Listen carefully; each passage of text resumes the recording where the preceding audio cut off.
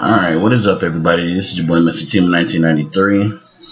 Um I just wanted to make a crow to D1 and J.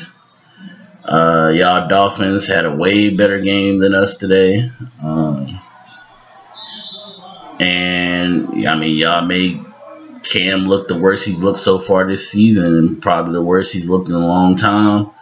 Um, offensively, you know, Tua looked real accurate. Y'all were very smart to get the ball out of his hands quickly. Um, kept killing us with slants, in routes, all that kind of stuff. Uh, Jaylen Waddle probably, I mean, not probably. Jaylen Waddle had the best game of his career so far today.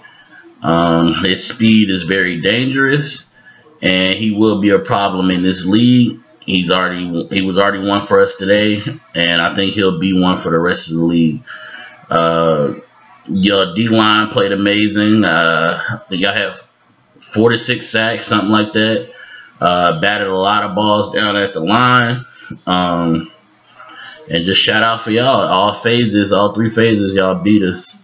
Uh, special teams, y'all had a field goal block for a touchdown to start the scoring off. And uh, y'all were the better team today in all three phases. So shout out to D1, shout out to Jay, uh, Miami Dolphins fan. This is your boy Mr. Team 1993.